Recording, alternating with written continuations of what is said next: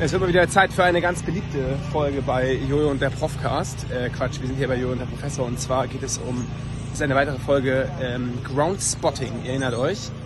Ground Spotting, wenn man das äh, das Stadion sucht und nicht gespielt wird, dann guckt man in die Röhre. Und zwar sind wir hier am Dover Beach, denn man sieht es da hinten so ein bisschen.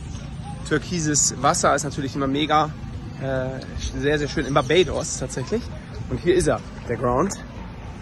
Ein Basketballfeld. Nein, keine Sorge, bevor der Prof gleich wieder die totale Meise kriegt da hinten.